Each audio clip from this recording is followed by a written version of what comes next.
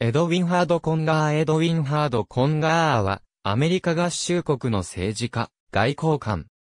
第一次、グロバー、クリーブランド政権時代に、連邦会議員を務めた。1843年3月7日、コンガーは、イリノイ州ノックス郡において誕生した。コンガーは1862年にランバード大学を卒業した。南北戦争中は一兵卒として、イリノイ州第102志願兵風評連隊の第1、中隊に従軍した。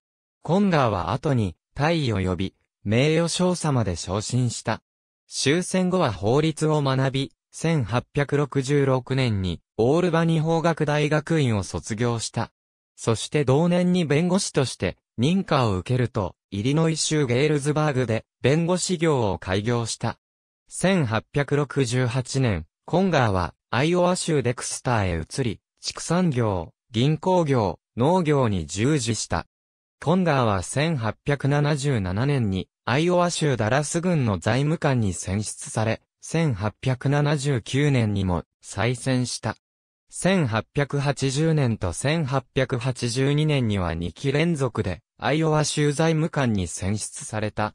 新国駐在時代のコンガー1884年、コンガーは共和党から連邦会議員に選出された。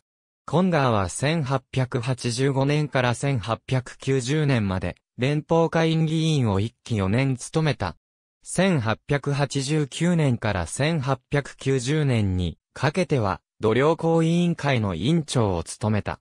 コンガーはその後、中ブラジル公使、中心公使、中メキシコ大使を務めた。1907年5月18日、コンガーはカリフォルニア州パサデナにおいて死去した。コンガーの遺体はカリフォルニア州アルタデナのマウンテンビュー墓地に埋葬された。ありがとうございます。